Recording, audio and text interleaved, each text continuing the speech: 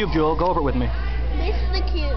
Everyone's a sinner, right? Everyone's a sinner. What did God do about our sins? He died on the cross. The sin is him Yeah, This is Jesus. Jesus died on the cross for our sins. for our Okay. sins. All right, keep going. And then after that, They put him in a tomb. they put him in a tomb because they didn't want him to worship everybody. And he was so strong, he opened it, And what does a person have to do to go to heaven? Believe in Jesus forever, and be a sinner. And you'll be saved forever.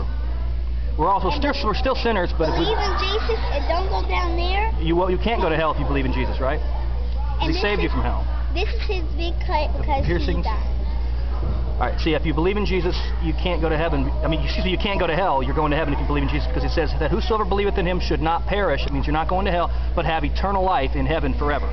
Good job, Jewel. We'll work. We'll work on it, and I'll get you some some candy next week for doing this.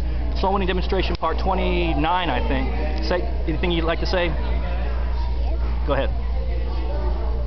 My name is Jewel, and I believe in Jesus Christ. Give me five. That's cool. All right. Thank you. Then we're off. Thank Can I see it? you. Yeah.